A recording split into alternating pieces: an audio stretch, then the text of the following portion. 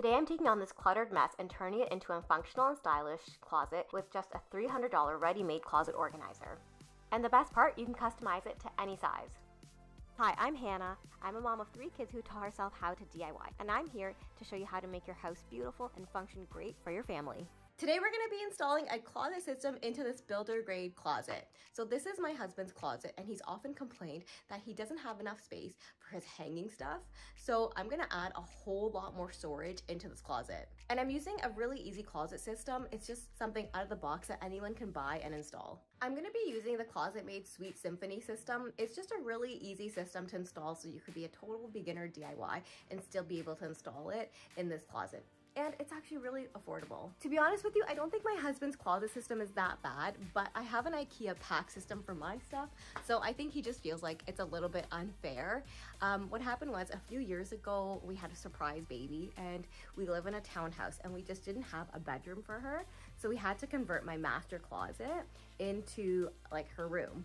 So this is an unedited view of her room, but basically like this was our master closet and we had plenty of space for the both of us, but then I converted it into her little nursery. And so this is why I've got this PAX wardrobe for myself over here, which absolutely I love. And my husband's got the dinky closet. I would have loved to install a PAX wardrobe for my husband. It's such a great closet system, but it's just not in the budget right now. A PAX wardrobe is about $1,300, but the system I picked up is about $400, so it's really affordable. And if you're interested in the PAX wardrobe system, I've got a full review on what I think of it after having it for a year and a half. Let's start off by emptying out his closet. Um, I don't know if I'll get this done in one day, so I'm gonna end up throwing all these clothes in like a corner in the master. Let's see. Because often Avast has to sleep on this bed with the kids because one of them will wake up and luckily for me, they like daddy at night. I'm also gonna make Avast like go through his entire closet and like look at what he likes. Look at what he needs. What has he had since before we got married? Because probably time for some of those things to go.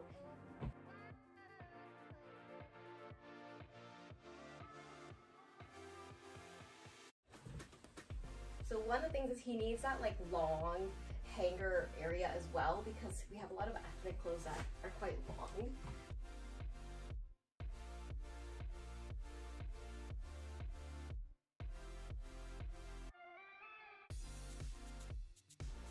So I'm pretty much shocked at how much cleaning day one has just turned out to be. Like, this is just insane look. So I was thinking of leaving this in as a shelf. Um, the organizer that I bought is 84 inches. So if this is like higher than 84 inches, I could just leave it in. Okay, it's not. It's 77 which means I unfortunately have to take it down, which just kind of stinks because I wanted to leave it. But So we got to remove this shelf and um, first we have to actually take all these off. And in my experience, the best way to do it is just with a pry bar. So just go behind it and just pry it off gently.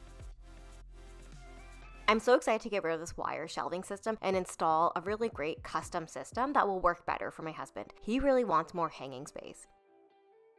Now this is really easy to install. There's step-by-step -step instructions and if you've built anything from Ikea, you can definitely build this too. So the other thing when you put these in is you see there's this arrow.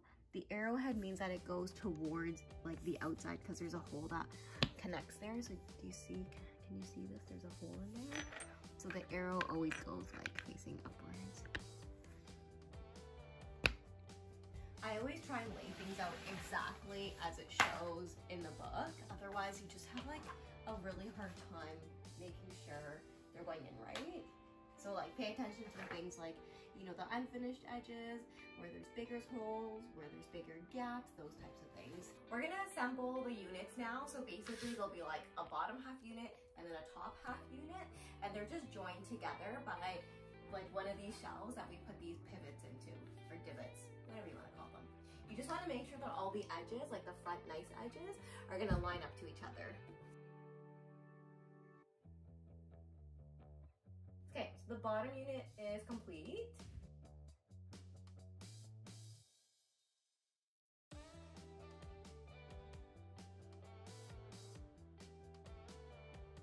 Before we can actually mount this, you see how this is a bit wobbly? We need to stabilize this. So they come with these little squares, or actually, sorry, they come with triangles. So what we'll do is we'll turn it around and you just nail these here, but you need to make sure it's square. So how do you make sure it's square? Use a speed square. So I'm gonna hold this in place, right, on one side, and then I can like nail on this side so that I know this whole fixture will be square.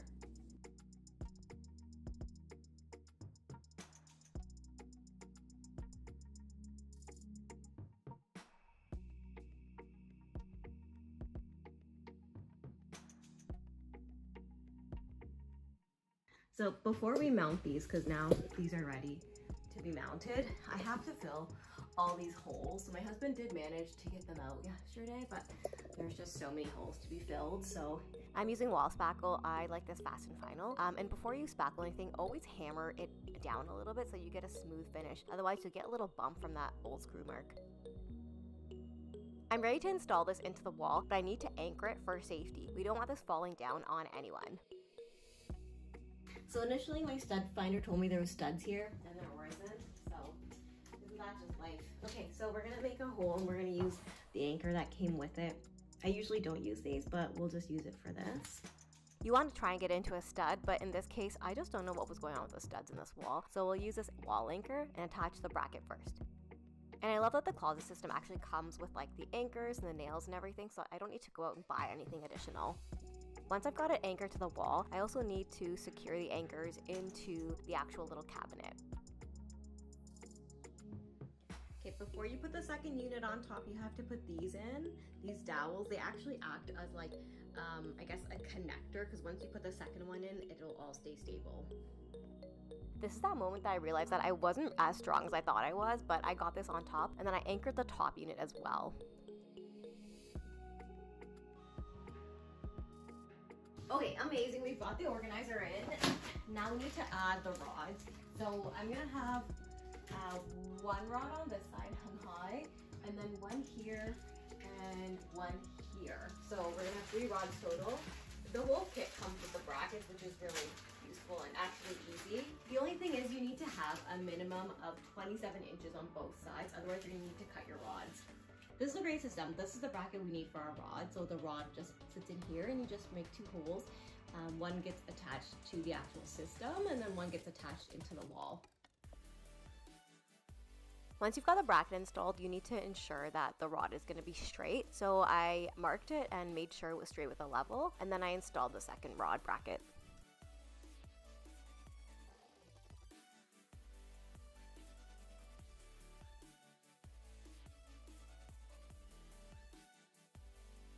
Brought one of Avas's shirts because I wanted to see what would be a good height to hang the second rod. So if I hang this here, I want to make sure that, you know, I, I actually might end up putting a shelf here too, but like I think the rod, the rod goes here.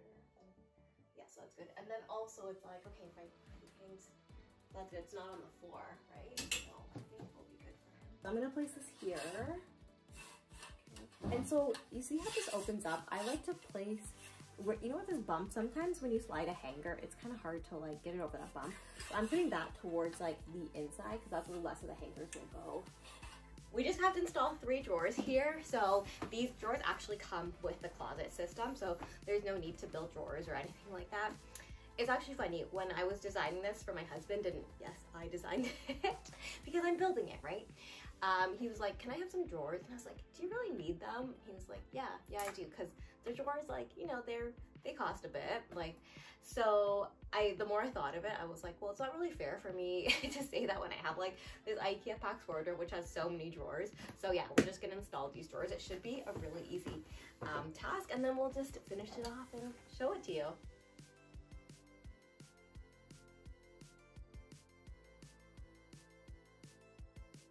All three drawers are assembled and I'm at the point where I'm going to install them. So this manual actually tells you exactly what holes you need to put the brackets in, like the drawer slides, so that they can fit correctly.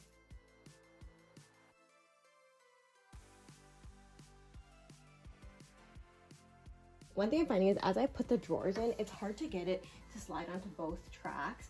So what you want to do is you want to like line it up and then you actually want to like hold the hinges, so it's a bit tricky. And if you have a second person, it would be helpful, but you want to like hold them. The bracket slide. And then now squeeze it in on both sides as you push the drawer in, and you'll hear the, them lock in. There. So you heard that little click, and it's good.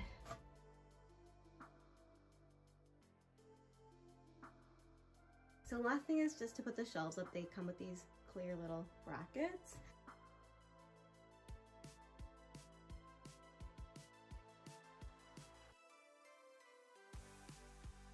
Are you ready to see the reveal of my husband's new closet? Now remember, we started off with just a basic builder closet and I transformed it into something really modern and clean with a lot more hanging space. This ClosetMaid solution is fantastic because it's got three drawers which you can add on and they're a really good size for a small closet.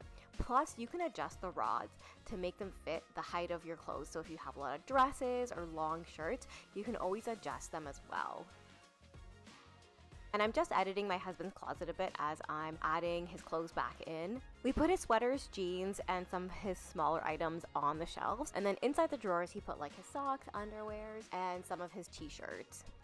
This would also be a fantastic organizer in a kid's room or a nursery, and I see this being really functional as a coat closet too.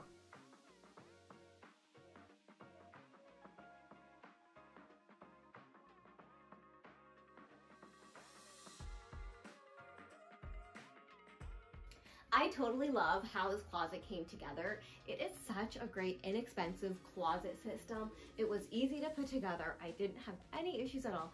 And actually it looks like I have so much more space for my husband's stuff and I didn't even edit that much stuff out. I only donated like five shirts of his. So if you love this DIY, make sure you subscribe to my channel and tell me, would you use this closet system? Isn't it so much better than the one you probably have? And I'll see you next time for my next budget DIY.